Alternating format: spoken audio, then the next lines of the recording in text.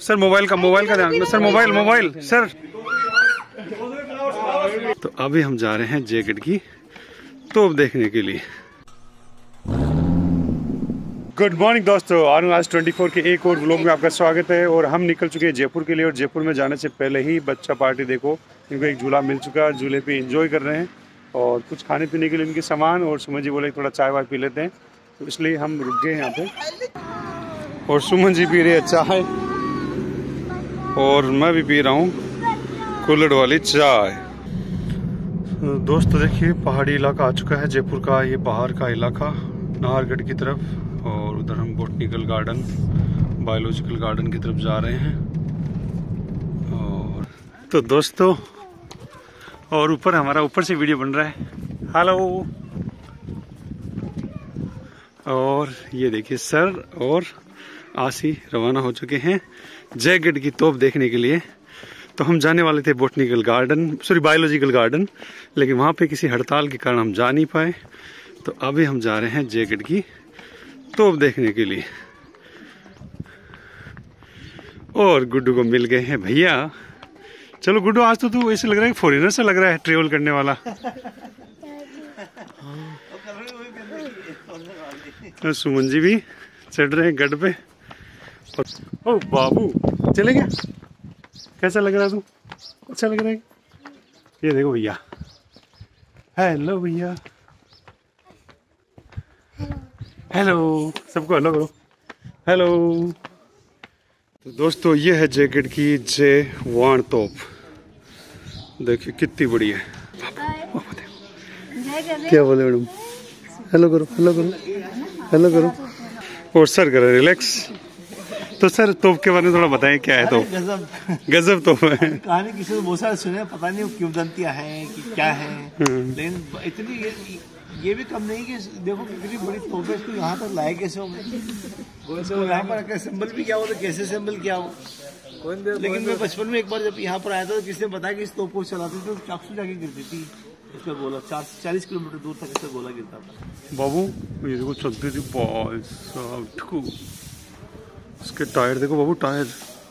वो टायर देखो इसके। ओहो। लोक बनी हुई है।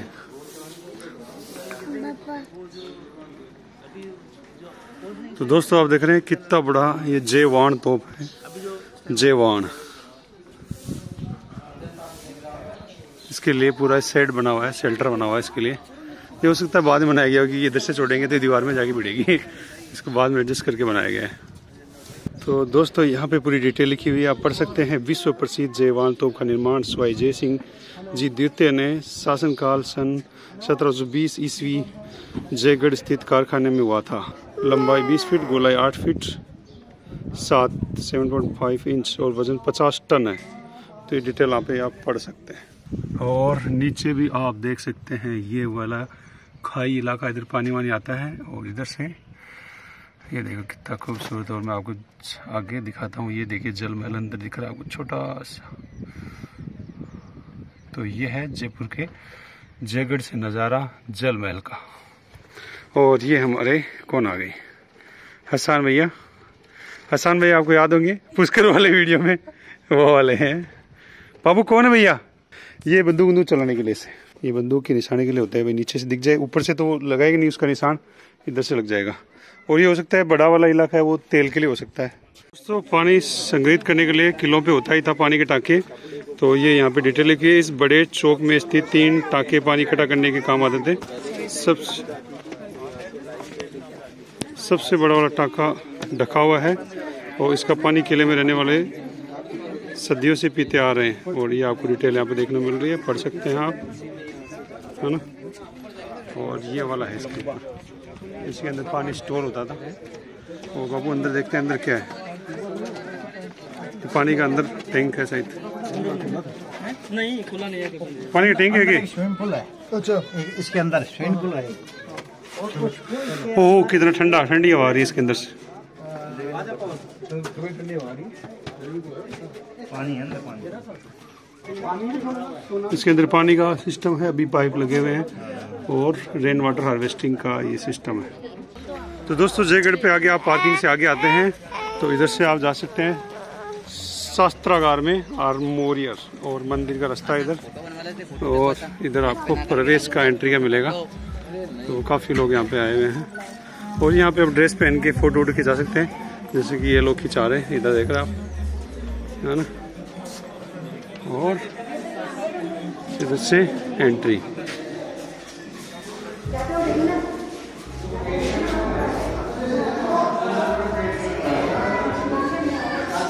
बाबू, देखो।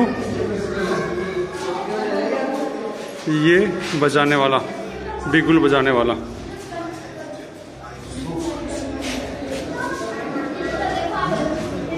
और ये भी देखो, छोटी एक तोप है। सर सामने देखो सर इधर देखो मेरी तरफ़ मेरी तरफ़ हाँ। और सर बंदूक चलाने की तैयारी कर रहे हैं। बस बस बस। दोस्तों ये देखिए 138 बोर की बंदूक है आयरन एटीन सेंचुरी की। और ये देखिए इसमें लकड़ी का बहुत यूज़ होता था और मेटल सिंगल राउंड वाली ये देखो ये हेलमेट है बाबू टोपा। इतनी टोप जैसा है देखो। और ये देखो ये चलेगा कि तू? ये देखो हाथ में पहनने के लड़ाई करने के है ना? तो देखो बाबू ढाल हेलमेट। परशु मंत्र।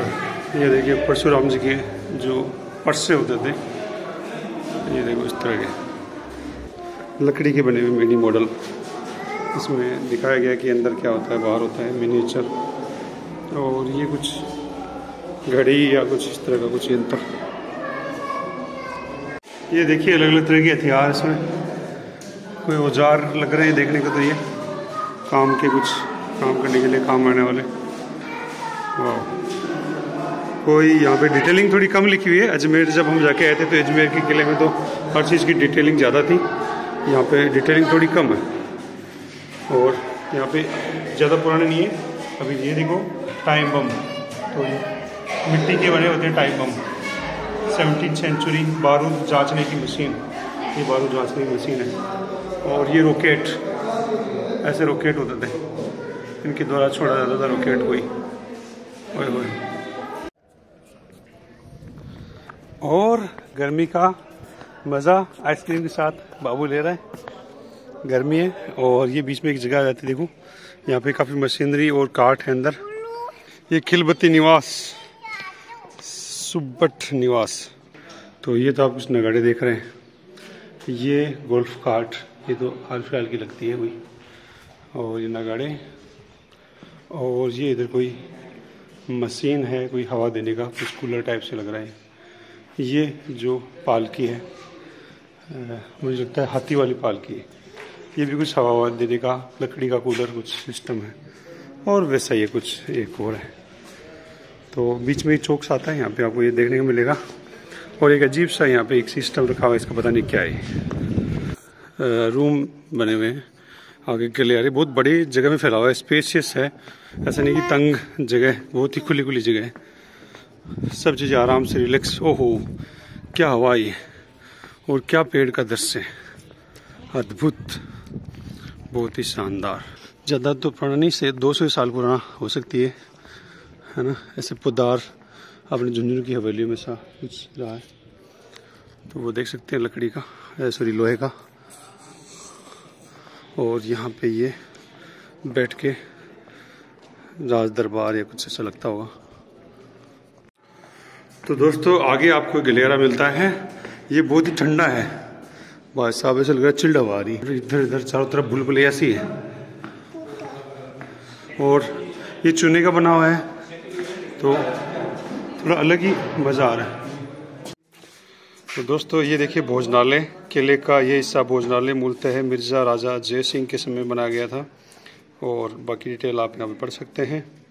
तो ये देखिए दोस्तों ये है जनाना शाही भोजनालय और उसके बारे में डिटेलिंग लिखी हुई है और यहाँ पे ऐसे खाना खाते थे। तो उसका भी आपको स्टेचू देखने को मिल रहा है, देखो, थाली में सब चीज़ें रखी हुई है। और वैसे आर्टिफिशियल चीज़ें बनाई के रखी हुई, लेकिन उसी तरह की चीज़ों को डिप्लीकेट करने की कोशिश की गई है। तो दोस्तों, ये देखिए ब्यूटीफुल नज़ारा। और यहाँ पे पूरी मंकी गैंग आई हुई है। और ये देखिए मंकी इस पेड़ में काफ़ी मात्रा में। आपको दिख रहे होंगे। ओ क्या डाइव लगाई है। और ये एक बगीचा है, जैसे कि आपको देखने को लग रहा है। ये बगीचा है, इसमें आराम से राजा महाराजा रानियाँ घूमती हुई तो ये घूमने का बहुत अच्छा नज़ारा है। तो दोस्तों, ये है आमेर फोर्ट, आप देख सकते हो, नीचे की तरफ़ और यहाँ पे पानी का है और इधर ये आमेर, यानी पुराना ओल्ड जयपुर, है ना?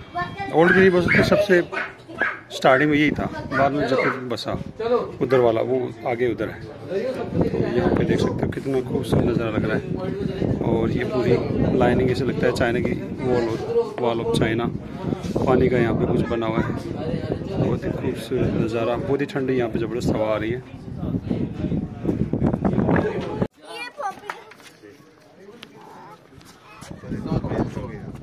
सुमन जी, पकड़ो पकड़ो। नहीं।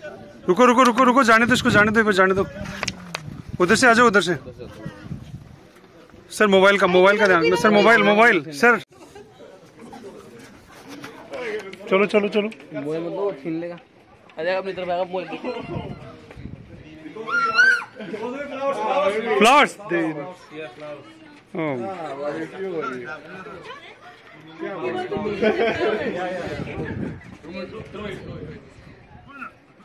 No, I want him far away. Because I didn't know what he wanted, so I was like,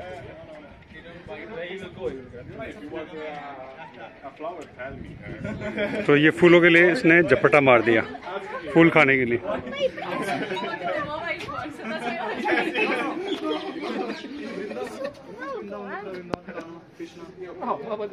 क्या हुआ गुरु अभी मंकी ने क्या किया? मंकी ने ना हमला कर लिया। हमला कर दिया हम पे नहीं अंग्रेज़ों पे। अंग्रेज़ों पे। फॉरेनर्स पे। है ना? वो बाहर के थे बेटा के लिए। चलो अंदर चलते हैं गुफा। ओ हो हो हो अंधेरा। तो ये है स्विमिंग पूल चलो पानी भरते हैं नहाते हैं इसमें। तो दोस्तों ये है तोप बनाने के लिए।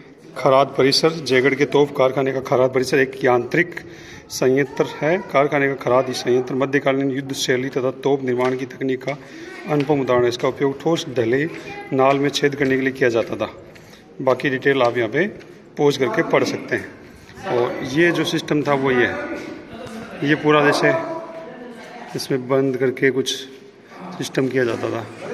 ये भी कोई संयंत्र है आगे तक मशीनरी लगी हुई है। जैसे पुराने ज़माने अभी आधुनिक ज़माने में जैसे कारखाने होते हैं, उसी तरह का कुछ सिस्टम है। तो हो सकता है मैनुअली इसको रोटेट किया जाता, हो सकता है जानवर एनिमल्स का प्रयोग करके रोटेट किया जाता। तो यहाँ पे नाल में छेद करके इसको बनाया जाता, तोप बनाने के लिए। तोप का कारखाना था। और उस टाइम समय की रंगत, उस समय की चीज़ें देख के बहुत ही अजब गजब चीज़ें होती थी। ये देखिए यहाँ से आपको आमेर फोर्ट दोबारा मैं दिखा देता हूँ। पहले आपको ऊपर से दिखाया। पानी और ये आमेर। जयपुर के पास होने के बावजूद मैं आज पहली बार यहाँ पे आया हूँ और कंटिन्यू अब जयपुर को एक्सप्लोर करेंगे, आपको और भी चीज़ें दिखाएँगे। अगले वीडियो में कभी आपको आमेर भी दिखाएँगे तो आप चैनल को सब्सक्राइब कर लें बेल आइकन क्लिक कर लें, जिससे कि आने वाली वीडियो का नोटिफिकेशन आपको मिलता रहे।